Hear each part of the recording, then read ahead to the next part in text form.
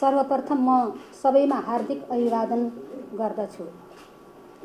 लामो समयदेखि नेपालको सीमाका विषयमा रहेको समस्यालाई सम्बोधन गर्दै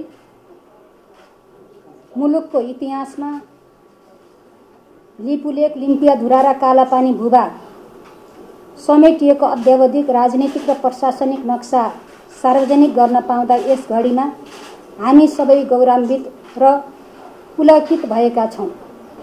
नेपाल सरकारको आर्थिक वर्ष दुई हजार सतहत्तर र अठहत्तरको वार्षिक नीति तथा कार्यक्रममा सम्माननीय राष्ट्रपतिज्यूबाट घोषणा भए बमोजिम। त्यसको एक हप्ताभित्रै नेपालको राजनीतिक एवं प्रशासनिक नक्साको नयाँ संस्करण सार्वजनिक गर्न पाउँदा आज मलाई अत्यन्त खुसी लागेको छ। यस अवसरमा यो गौरवशाली इतिहास निर्माण गर्न आम नेपाली जनताले देखाएको चासो र दिएको साथप्रति म आभार व्यक्त गर्न गर्दछु। नेपाली जनताको यही मर्म र भावनाको जगमा उदिएर हामीसँग उपलब्ध प्रमाण र राज ऐतिहासिक तथ्यले देखाएको सत्यको पथमा समर्पण भावनाका साथ अघि बढ्ने प्रेरणा मिलेको यहाँहरू समक्ष स्मरण गर्न चाहन्छु। नेपालको अध्यावधिक नक्सा सार्वजनिक गर्ने यो अवसरमा सिङ्गो नेपाल र नेपालीका लागि ऐतिहासिक सुखद क्षण हो। जुन सम्माननीय प्रधानमन्त्री केपी शर्मा ओली नेतृत्वको यो सरकारको कालमा आइपुगेको तपाईँहरू सामु सर्लङ्ग छ। साथै नेपालको अध्यावधिक राजनीतिक र प्रशासनिक नक्सा सार्वजनिक गर्ने यो सुनौलो अवसर यो युगको सर्वाधिक स्मरणीय क्षणका रूपमा मैले लिएको छु। नेपालमा मात्र होइन सिङ्गो विश्व मानचित्रमा नेपालको मानचित्र बदलिएको छ। यसले नेपालीको मान पर मान पनि बदलिएको छ मन पनि बदलिएको छ। त्यति मात्र होइन नेपालीको बदलिएको मानचित्रले नेपालीको मनोबललाई अझ उच्च बनाएको छ।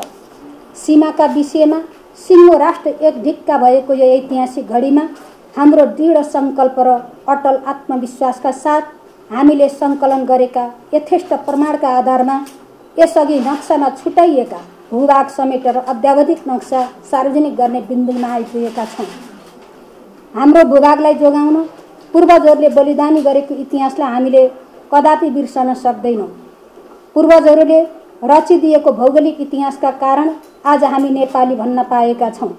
नेपाली हुनुमा हामी गौरव गर्दछौँ। नेपाल निर्माणको अढाई सय वर्षको दौरानमा धेरै आरोह अवरोह झेलेका पनि छौँ। आजको यो ऐतिहासिक क्षणमा आइपुग्दा वर्तमान केपी शर्मा ओली नेतृत्वको सरकारले नेपाल र नेपालीको शिर झुक्न दिएको छैन र दिने पनि छैन भन्ने विश्वास यहाँहरूमा राख्न चाहन्छु।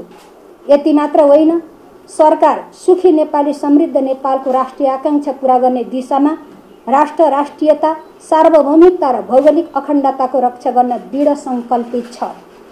आदरणीय बुवामा दाजुभाइ तथा दिदीबहिनीहरू सन् अठार सय सोह्र मार्च चारमा तत्कालीन इस्ट इन्डिया कम्पनी र नेपाल सरकारबीच भएको सुगौली सन्धि अनुसार काली नदी र सोभन्दा पूर्वको भूभाग नेपाल राज्यको अभिन्न अङ्ग भएको तर हाल नेपालमा प्रचलित नक्साहरूमा काली नदी पूर्वका गुन्जी नाभि कुटी लगायतका केही भूभाग समेटिन समेटिएको नदेखिएकोले ती भूभाग समेत देशको सीमाभित्र पर्ने गरी तथा काली नदीको उद्गम स्थल लिम्पियाधुरासम्म नक्सामा देखिने गरी नेपालको अध्यावधिक प्रशासनिक नक्सा तयार गरी प्रकाशन गर्न र प्रचलनमा ल्याउन नेपाल सरकार मन्त्री परिषदको दुई हजार सतहत्तर दुई महिना पाँच गतिको बैठकले नेपालको अध्यावधिक राजनीतिक प्रशासनिक नक्सा स्वीकृत गरी लागू गर्ने निर्णय गरेको छ।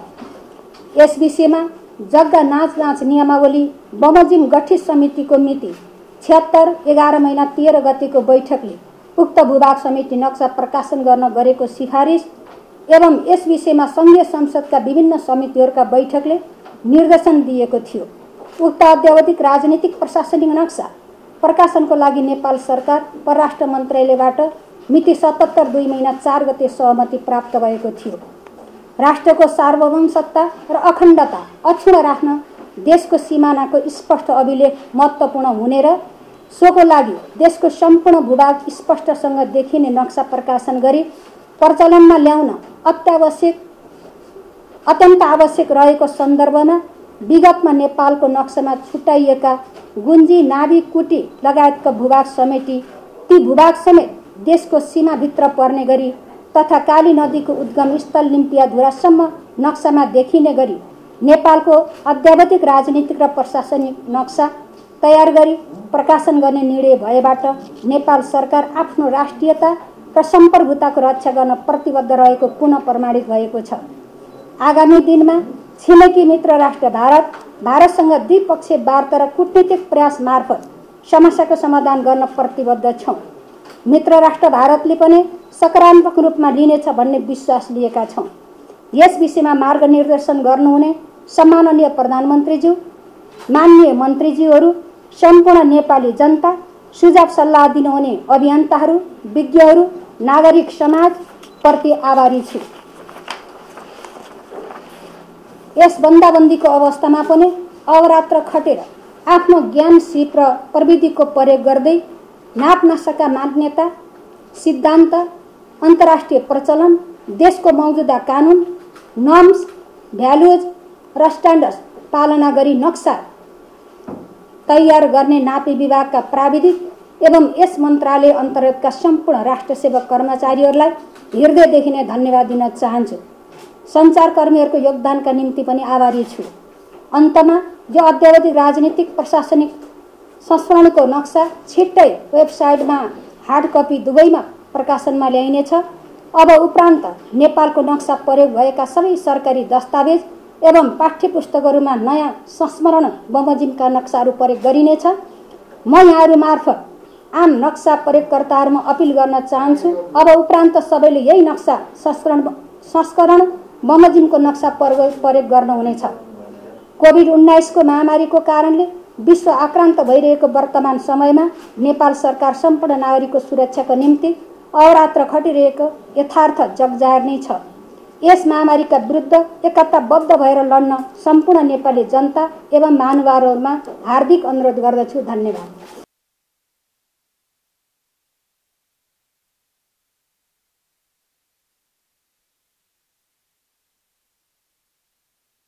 सबैको सबैभन्दा राम्रो।